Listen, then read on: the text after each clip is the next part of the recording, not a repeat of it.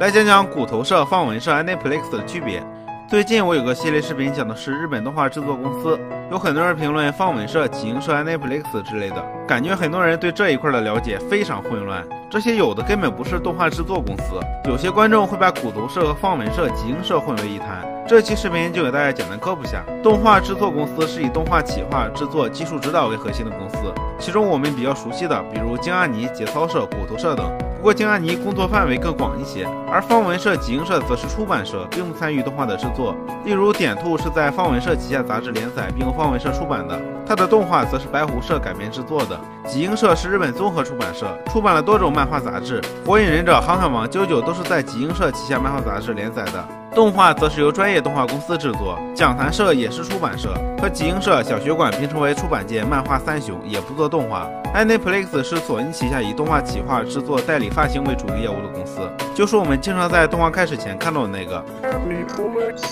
有很多人有误区，以为片头带 Netflix 标志就代表它是 Netflix 制作的，其实并不是。片头带标志只是代表这部动画是由 Netflix 代理发行的，跟制作没有任何关系。不过它旗下的 A E 社和 CW 是专业的动画制作公司。